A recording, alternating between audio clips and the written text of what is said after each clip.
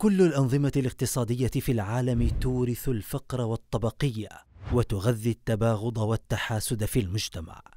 إنما يستثنى من ذلك الإسلام فقط بفريضته الاقتصادية التي جعلها ثاني أركانه بعد الصلاة لما لها من صلاح للفرد والمجتمع.